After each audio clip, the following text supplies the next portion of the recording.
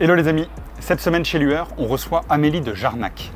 À 21 ans, elle tombe amoureuse d'Antoine, un bonheur de courte durée, car ils vont tous les deux découvrir l'épreuve de la maladie de celui qui deviendra aussi son mari. Je suis toute seule dans ma souffrance, je peux la partager avec personne. Euh, Tu vois, j'ai 31 ans, je viens de perdre mon mari, j'ai pas d'enfant, je sais plus ce que je veux, je sais plus ce que je fais, je sais plus qui je suis.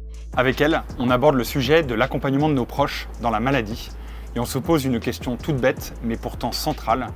Comment rester vivant et être heureux malgré la souffrance et la maladie? Bon épisode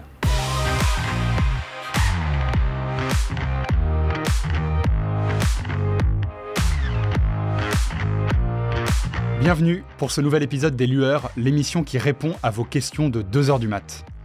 Merci d'être de plus en plus nombreux à nous suivre et n'hésitez pas à vous abonner si vous voulez être sûr de ne rien manquer du témoignage de nos prochains invités. Bonjour Amélie Jarnac, Bonjour Jonathan. je suis très heureux de te recevoir aujourd'hui. Moi aussi. Euh, T'as une histoire personnelle assez hors du commun, Euh, une histoire euh, pas évidente, une histoire difficile en tout cas d'un point de vue extérieur que tu acceptes aujourd'hui de, de nous raconter. Euh, tu as 38 ans et à 21 ans tu, as, tu es tombée amoureuse d'une personne qui s'appelle Antoine, dont on va beaucoup parler aujourd'hui. Une belle histoire d'amour qui a commencé, sauf qu'au bout d'un an, euh, Antoine est tombé malade et tu l'as accompagné pendant euh, toutes les années de sa maladie. Ce que je te propose, c'est qu'au début de notre émission, on a une petite habitude chez Lueur, c'est de faire un petit peu connaissance. Et pour faire connaissance, j'ai disposé sur la table trois fiches. Je te propose de prendre la première fiche, de lire la phrase à haute voix et je te laisserai la compléter. La question de 2 heures du mat qui me tient encore souvent éveillée aujourd'hui, c'est des choses très pragmatiques. Moi, je suis euh, très dans le temps présent et donc euh, c'est vraiment est-ce que j'ai rappelé telle personne, est-ce que j'ai envoyé tel email? euh, c'est vraiment des, c'est assez banal et, et logistique. C'est plutôt de la to-do opérationnelle aujourd'hui Ouais, tout doux opérationnel, mais c'est pas des grandes questions de qui, qui- qui t'empêche de dormir. non, ni existentielles ni des grandes angoisses. C'est plutôt des petites choses que j'ai pas faites. Je te laisse prendre une deuxième, euh, une deuxième fiche. Quand j'ai rencontré Antoine, j'imaginais notre vie et ben, comme un grand bonheur. Euh, et d'une certaine manière aussi comme toute tracée. Il y avait une certaine évidence quand on s'est rencontrés. Et, euh, et donc, euh, bah voilà, il y avait un côté un peu conte de fées, tu vois. Le- la petite particularité avec Antoine, c'est que nos frères et sœurs sont mariés. Ah Et c'est comme ça qu'on s'est rencontrés. On va le faire avec une dernière fiche. Le plus dur dans l'accompagnement de la maladie, de pouvoir l'écouter lui, d'écouter ses besoins. Euh, c'est lui qui sait mieux que moi. Et donc, de temps en temps, je, je projetais mes peurs, j'avais envie euh, du mieux pour lui, du meilleur. Et en fait, euh, c'est son histoire, c'est sa maladie. Donc, lui, c'est mieux que moi. Et donc, il fallait que je respecte ça. C'est vraiment d'écouter le malade sans se projeter, je trouve.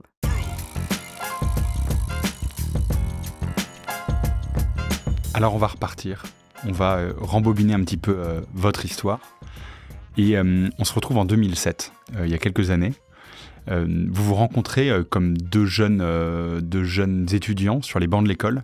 Est-ce que tu peux nous raconter un petit peu cette rencontre, comment ça se fait, comment, comment vos deux chemins de vie se croisent? Moi, je suis une dernière d'une famille de trois filles et Antoine, c'est le dernier d'une famille de trois garçons. Et on s'entend très bien avec nos frères et sœurs. Et effectivement, nos frères et sœurs respectifs vont se marier dans très peu de temps. Et donc, je rencontre le futur mari de, de ma grande sœur et qui très rapidement me dit Mais c'est fou, euh, c'est fou ce que tu ressembles à Antoine, mon frère. euh, vous vous ressemblez, euh, vous êtes les mêmes. Il faut absolument qu'on vous présente. Et donc voilà, et petit à petit, notre histoire a mis du temps parce que nos frères et sœurs allaient se marier. Et puis, tu vois, c'est toujours étonnant, je le voyais que dans un cadre familial, donc il n'y a pas eu de drague à proprement parler, c'était juste, tu vois, dans des moments familiaux, mais on s'entendait vraiment particulièrement bien. Alors c'est qui Antoine et comment tu pourrais nous, nous décrire pour qu'on se le représente, sa personnalité En tout cas à ce moment-là, quand vous vous rencontrez, c'est quelqu'un qui quoi? Déjà, c'est un grand sportif. Tu vois, il a cette espèce de mental de sportif de haut niveau.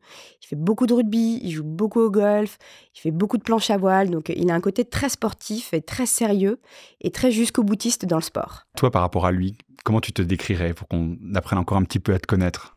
Eh bien, moi, je suis très positive, je suis très enthousiaste. Je me réjouis honnêtement de, de pas grand-chose. Et, et lui, il est, il- on est tous les deux à- plutôt comme ça, tu vois. tout de suite, on se retrouve, on est enthousiaste, on trouve tout canon, c'est génial.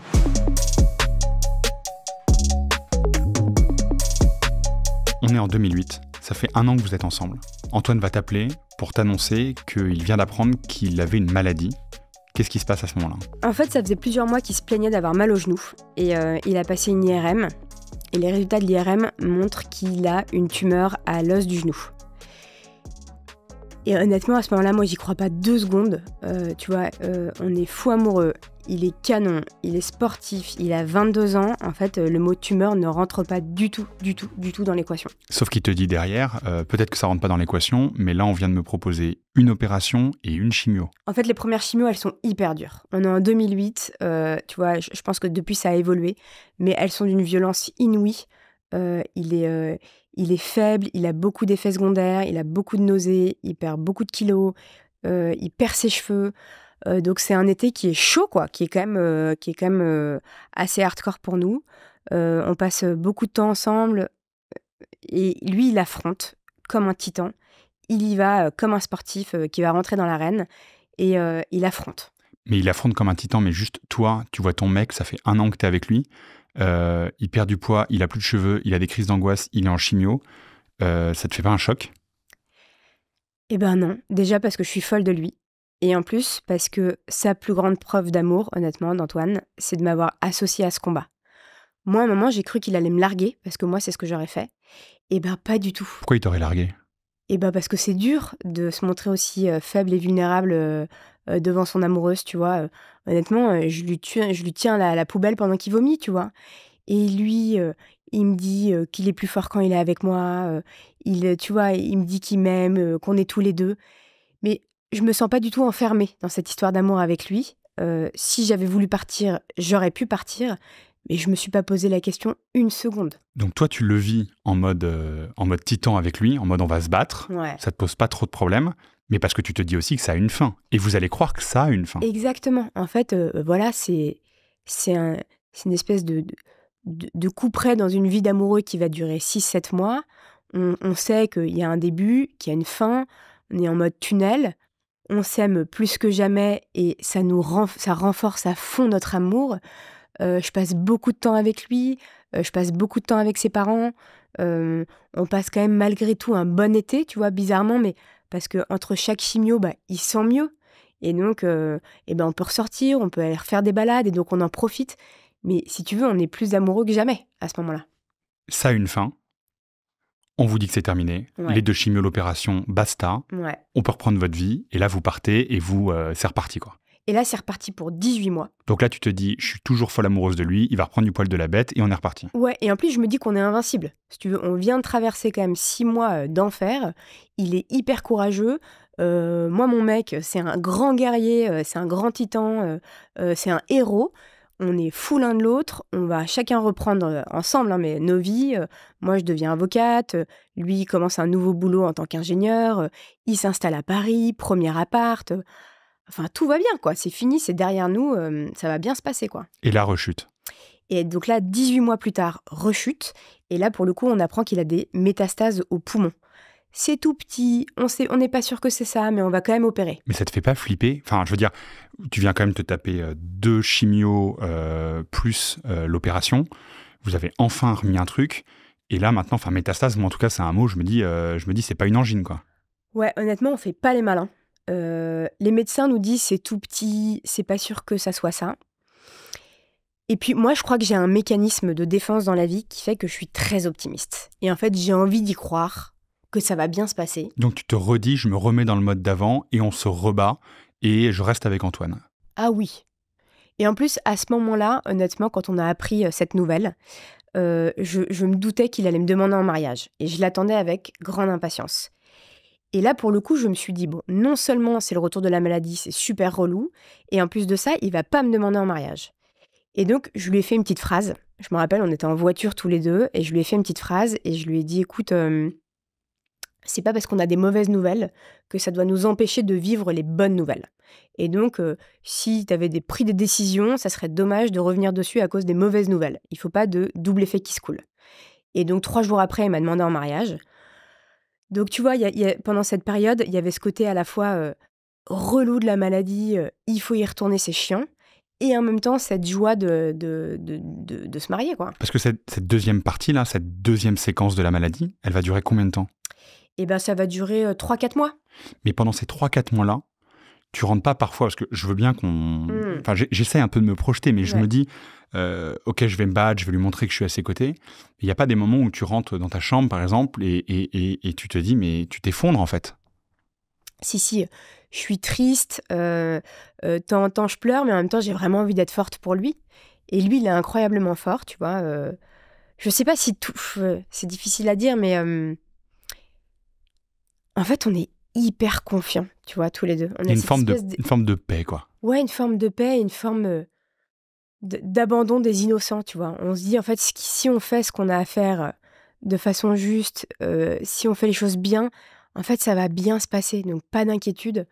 On y va, euh, on est tous les deux, euh, on a nos proches, et en fait, on va la traverser, cette nouvelle épreuve, tu vois. Et je, te, je te dis pas que c'est pas dur, qu'il est pas dépité, moi aussi. Mais en fait, on est tous les deux, donc on y va. Cette deuxième séquence de 3-4 mois passe, et là, on vous rannonce que euh, c'est bon, c'est derrière vous. Et donc, j'imagine que vous repartez. Ouais, on est hyper heureux, Vous allez où? On se marie. Ah, vous vous mariez carrément. Ouais, oui, on donc là, c'est vraiment, c'est terminé. c'est terminé, euh, on est hyper heureux, euh, on va se marier, on organise notre mariage, Vous partez en voyage de noces?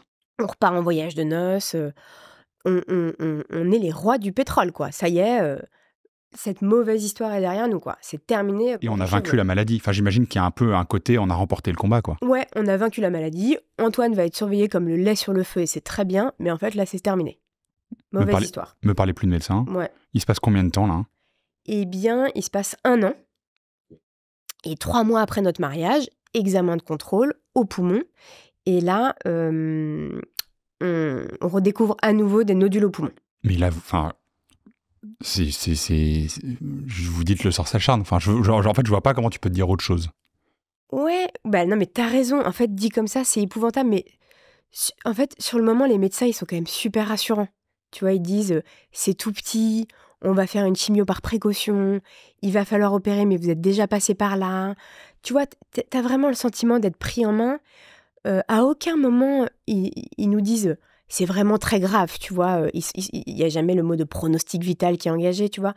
Ils nous disent bah voilà, on, on se bat contre le, le temps. En fait, on va trouver le bon produit pour guérir ce cancer. Donc euh, voilà. Très rassurant, en fait. En fait, c'est très rassurant. Et, et encore une fois, Antoine et moi, eh ben, on est confiants, quoi. Et puis, euh, on est saoulés. Euh, Antoine est gonflé parce qu'il va devoir refaire de la chimio. Il va devoir réopérer. C'est une opération qui est hyper lourde. Mais on connaît. Donc, déjà, euh, on sait ce qui nous attend. Et puis, euh, tu vois, on est, on est bon élève, quoi, tous les deux. Et on se dit, euh, allez, on y retourne. euh, Et donc, toi, t'es reparti pour la troisième fois. Tu reviens à l'hôpital le soir, tu lui apportes à manger, tu tchatches avec lui, vous regardez des films ensemble. Enfin, je sais pas, il y a votre vie quotidienne à l'hôpital, quoi. Ouais, on s'installe tous les deux. Moi, Antoine, il a quasiment jamais dormi tout seul à l'hôpital. Je suis toujours restée dormir avec lui. Donc, effectivement, rebelote, on, on a une chambre double, on dort tous les deux à l'hôpital. euh, Et toi, tu trouves ça normal d'arriver à l'hôpital chaque jour, en bas à l'accueil Bonjour, je vais voir mon mari. euh. En fait, ça devient ta vie, tu vois. euh, je veux dire, ce monde hospitalier, euh, les opérations, je connais par cœur, tu vois. On est hyper rodés, on a nos petits rituels. Et puis Antoine, lui, il dit beaucoup ce dont il a besoin, ce qu'il aime, ce qu'il aime pas. donc, il est très facile comme malade. Et puis le principal, c'est qu'on était tous les deux. Tu te dis pas quand tu le vois partir en opération, euh, pardon pour la question, mais euh, punaise, euh, peut-être que peut-être que ça va mal se passer, quoi. Il n'y a pas des y a pas des peurs un peu vertigineuses comme ça parfois? Si, tu vois, tous les matins, enfin à chaque fois pour les opérations, je le quitte à la porte du bloc, je suis au bout du rouleau, je lui montre pas, tu vois, je, je me montre quand même hyper forte, lui aussi. L'opération passe, je fais pas la maline. En général, mes sœurs viennent me voir, mes parents et tout ça. On attend la journée, mes beaux-parents évidemment, et les frères d'Antoine. On attend la journée à l'hosto un peu paniqué. Et puis, euh, et puis euh, Antoine se réveille, euh, nous fait une petite blague, et puis et on est reparti dans le combat, quoi. Vous allez partir en Bretagne, vous allez re- reprendre votre vie, il va se mettre au surf, euh, vous allez accueillir des potes, euh, tout va repartir. Euh, sauf qu'en fait, tu vas le retrouver avec une énorme douleur au cerveau. Avec Antoine, on est parti faire une retraite. Et à l'occasion de cette retraite, quelqu'un, une femme, est venue voir Antoine.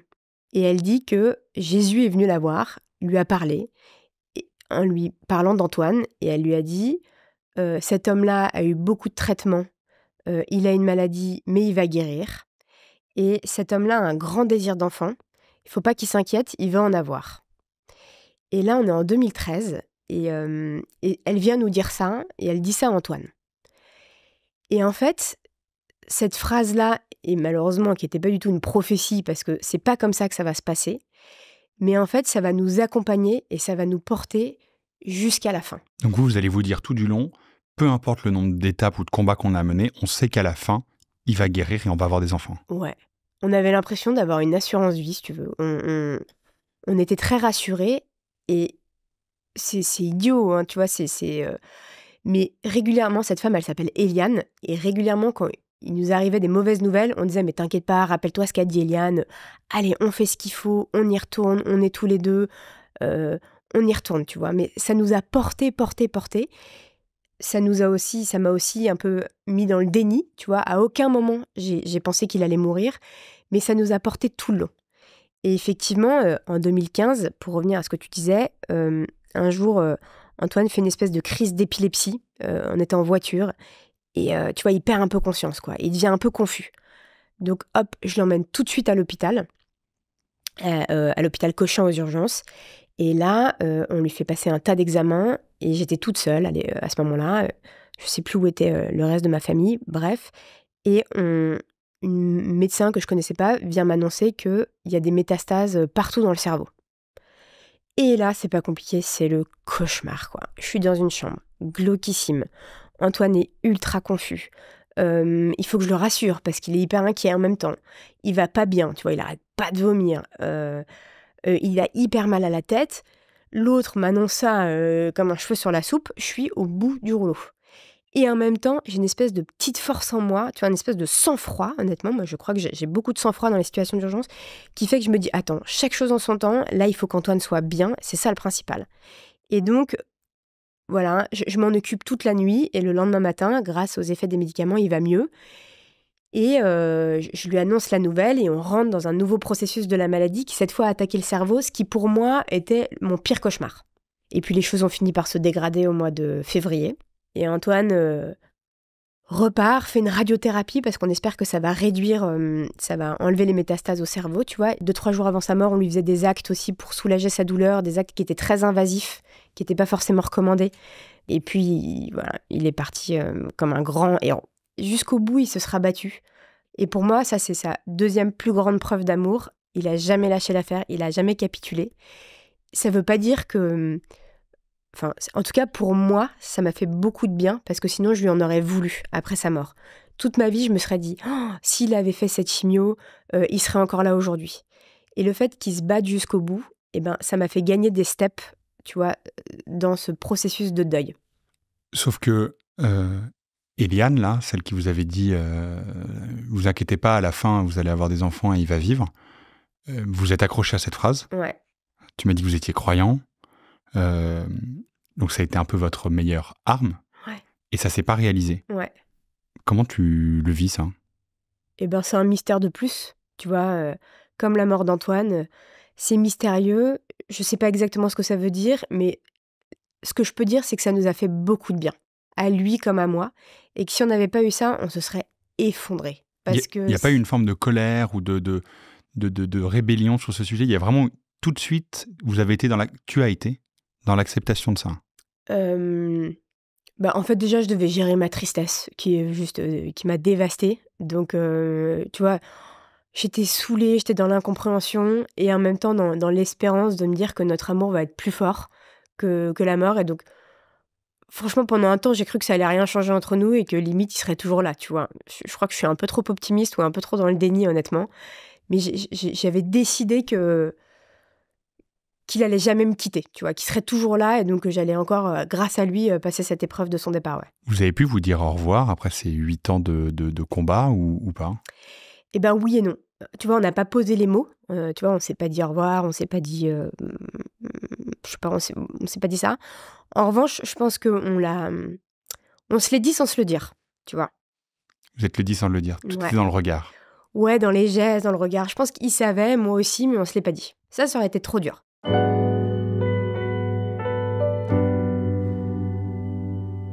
Il vient de s'écouler huit ans. Ouais. 8 ans de joie, mais 8 ans de souffrance, 8 ans de combat, 8 ans de, 8 ans de haut, de bas dans la maladie. Euh, ces 8 ans qui s'achèvent euh, assez brutalement d'une certaine manière avec le départ d'Antoine. Comment toi tu, comment tu le vis, ce, ces, premiers, ces premières semaines d'après-combat d'une certaine manière et, et, après le départ d'Antoine? Au départ, quand tu perds un proche, tu, tu es dans des instincts primaires, tu vois. T'es pas, euh, tu peux pas te projeter dans la vie, tu veux pas avoir de projet. Moi, j'étais vraiment à la minute, la minute. Donc, tu vois, t'es dans la tempête, t'es dans la machine à laver. Et euh, je savais plus ce que je voulais, je savais plus qui j'étais, je savais plus ce que je pensais. J'avais qu'une envie, c'était qu'il soit là, je comprenais plus rien. Je me rappelle même plus très bien de cette période finalement, tu vois. tout est un peu mélangé dans ma tête. Et, euh, et en plus de ça, euh, ma vie pendant dix ans avait été dédiée au bonheur d'Antoine. Vraiment, chacune de mes actes, de mes actions, de mes pensées était pour lui, grosso modo. Et heureusement, l'inverse était vrai. Et Antoine, lui, c'est lui qui s'occupait de moi, de ce que je voulais, de ce qui, tu vois, c'était vraiment, euh, moi, je m'occupais de son bonheur et lui s'occupait du mien. Et là, je sais plus ce que je veux, tu vois, comme moi, j'étais dédiée à lui euh, et lui à moi depuis dix ans. Qu'est-ce que je veux, Amélie, quoi? Qu'est-ce que, oh, bah, qu'est-ce qui te fait plaisir? Qu'est-ce que tu veux? De quoi tu as envie? Je sais plus. Euh, est-ce que je reste vivre en Bretagne? Est-ce que je rentre à Paris? Est-ce que je quitte mon boulot? Est-ce que, tu vois, je suis, je suis complètement déboussolée. Qu'est-ce que tu vas faire pour euh, essayer de retrouver euh, la boussole? 4-5 jours après l'enterrement d'Antoine, j'ai eu cette intuition de me dire en fait, tu as deux possibilités. Soit tu pleures jusqu'à la fin de ta vie et tu es triste et tu subis. Et ce que j'aurais été parfaitement capable de faire entre nous, soit euh, je me suis dit la vie sur Terre, elle est très courte comparée à la vie éternelle. Et je me suis dit, Antoine, tu vas le retrouver dans, très peu de temps. La vie sur Terre, elle est très courte. Donc tu es encore là pour 10, 15, 20, 50 ans. Euh, tu sais pas, mais en fait, ça va passer hyper vite. Et donc, en attendant de le retrouver, et eh ben en fait, euh, eh ben profite de cette vie sur Terre, profite des gens que t'aimes. Si t'es là, c'est que t'as encore quelque chose à faire. Et en plus, Antoine, il était hyper exigeant. Tu vois, avec moi, il avait cette espèce d'exigence de la vie. On a quelque chose à faire, à apporter. Donc, je crois qu'il détesterait que le jour de ma mort, quand on va se retrouver, que j'ai eu une vie triste, morose, nostalgique, tu vois? Il serait pas du tout content de ça. Et donc, tout de suite, ça me remet un peu le pied à l'étrier et je me dis, bah, dans le fond, si je suis là, c'est pour aimer et être aimé. Alors là, je le dis après sept ans, tu vois, c'est pas du tout aussi facile, mais quand même assez rapidement. parce que c'est juste ce que j'allais dire. Je trouve ça très beau euh, ce, que, ce, que tu, ce que tu nous partages, mais ce que tu me partages.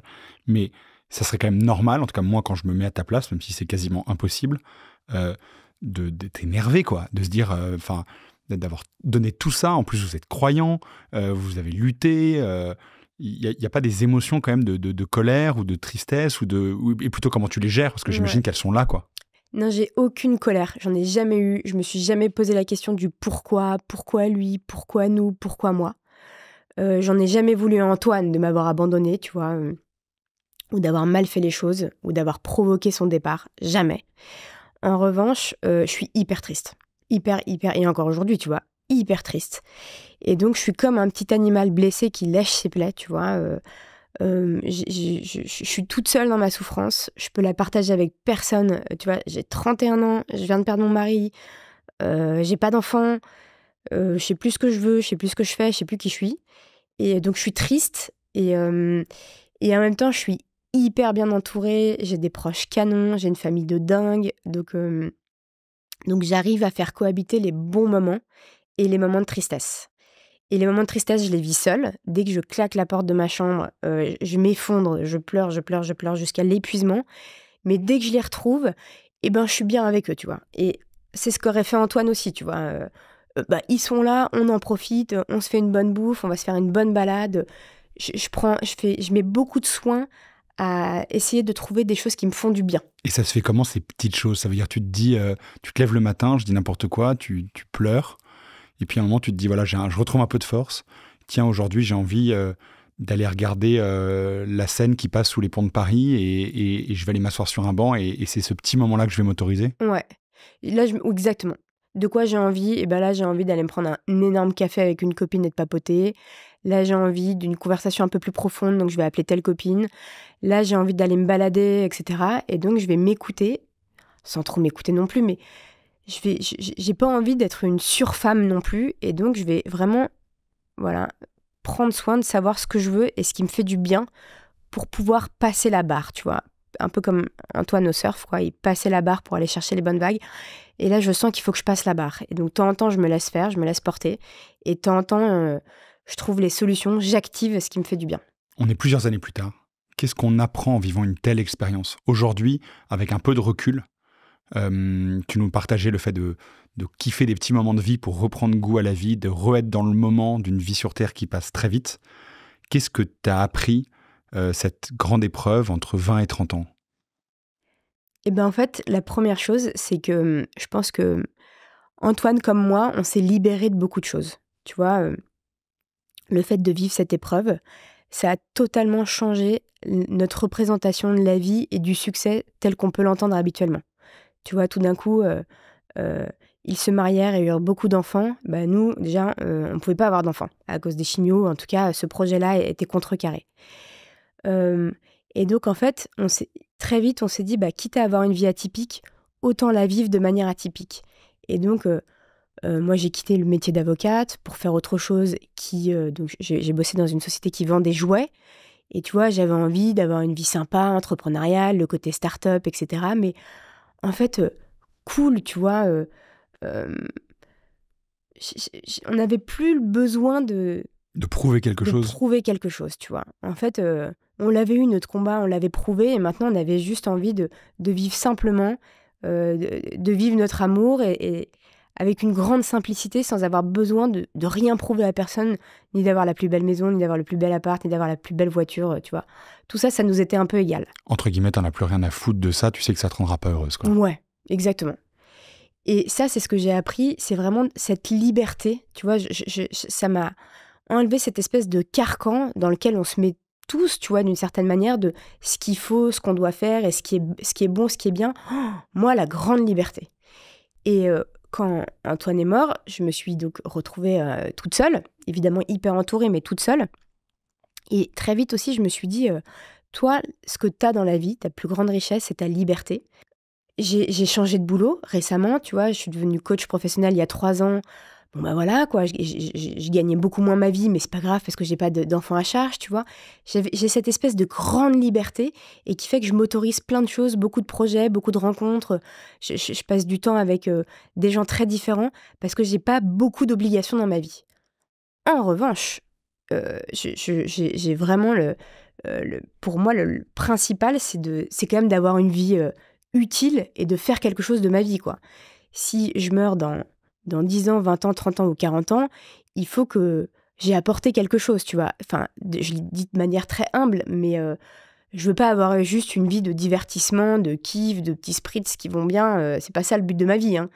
Mais euh, d'arriver à jongler avec les deux, d'être bien pour être bien pour les autres. Quel regard tu portes là aujourd'hui sur la souffrance? Euh, tu as quand même vécu pendant des années dans le milieu hospitalier. J'imagine qu'on croise des, des, malades, on croise des personnes, des médecins toute la journée, des infirmières.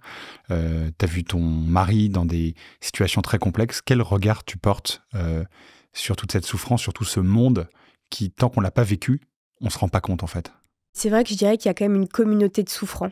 Tu vois, euh, on voit bien les gens qui ont traversé une épreuve, qui ont été malades ou qui ont traversé un deuil en parle beaucoup plus facilement. Et, euh, et donc moi, j'ose maintenant en parler aux gens. Euh, euh, quelqu'un qui voilà, a des chimios, quelqu'un qui traverse un deuil, en deux secondes, je vais aller le voir et je vais oser lui en parler.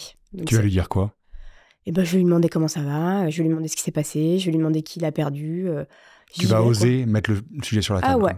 Et en fait, les gens osent pas, les gens ont peur, la maladie ça fait peur, le deuil ça fait peur. On, on parle surtout pas de la mort, on parle pas de ça parce que ça risquerait de nous arriver.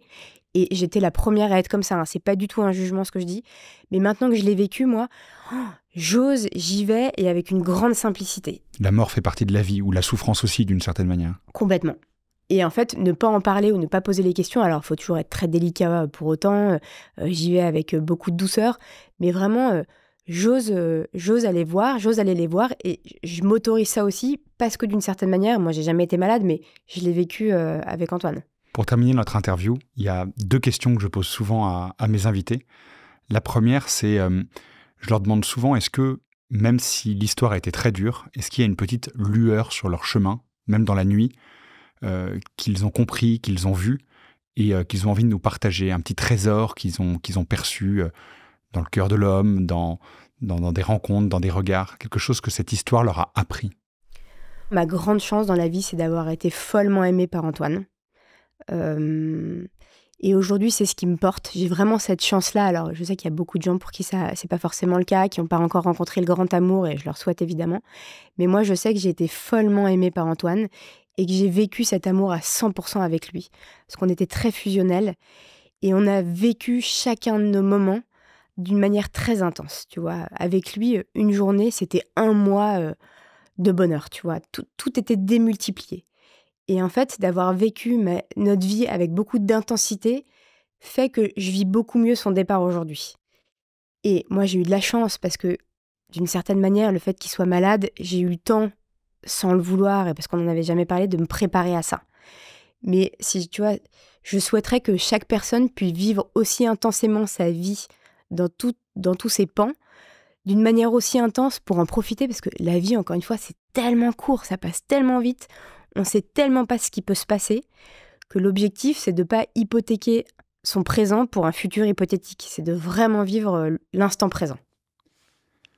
Et je demande enfin souvent euh, s'il y avait une, euh, un conseil, une question ou une citation qui t'a accompagné ou qui t'a aidé, euh, une phrase avec laquelle en fait tu as envie de nous laisser aujourd'hui pour, euh, pour clore notre échange. Hmm. Euh, peut-être un mantra, peut-être quelque chose que tu te répètes. La question ou la phrase avec laquelle tu nous laisses aujourd'hui, ça serait quoi? Eh bien alors moi j'adore cette phrase de Mère Teresa, je ne sais pas si c'est exactement ça, mais c'est ne laissez personne venir à vous et repartir sans être plus heureux. Et, et je trouve que bah voilà, l'objectif de notre vie, c'est de, en tout cas de la mienne, j'ai mis effort, c'est vraiment d'essayer de rendre les gens euh, le plus heureux possible et, euh, en étant ce qu'on est chacun. Donc, euh, ces petites gouttes d'eau de Mère Teresa et chacune de nos rencontres sont vraiment des merveilles et des pépites. Donc, moi, elle m'inspire beaucoup. Merci les amis d'avoir écouté cet épisode. Si ça vous a plu, sachez qu'on revient tous les 15 jours avec un nouvel invité pour répondre à nos questions de 2h du mat. D'ici là, je vous invite à vous abonner maintenant à cette chaîne en cliquant sur le lien juste ici pour ne rien rater de nos futurs épisodes, et puis évidemment à nous suivre sur nos réseaux sociaux. A très vite